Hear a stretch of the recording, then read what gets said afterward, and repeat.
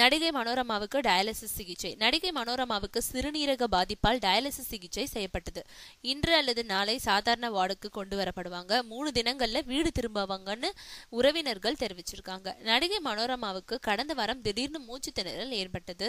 உடன் சென்னை நுங்கம்பாக்கத்துல உள்ள தனியார் மருத்துவமனையில அவசர சிகிச்சை பிரிவுல சேர்க்கப்பட்டாங்க. இவங்களுக்கு சிறுநீரக கோளாறு இருக்கிறதுனால அதுக்கான சிகிச்சை அளிக்கப்பட்டு வருது. நேற்று முன்தினம் டயாலிசிஸ் செய்யப்பட்டது. மனோரமாவோட பேரனும் டாக்டருமான ராஜராஜன் அருகில இருந்து கவனிச்சிட்டு இருக்காரு மனோரமாவோட உடல்நிலை குறித்து உறவினர்கள் கிட்ட நேத்து மாலை கேட்டதுக்கு மனோரமா குணமடைஞ்சிட்டு இருக்காங்க சிறுநீரக பாதிப்பால் டயாலிசிஸ் செய்யப்பட்டது.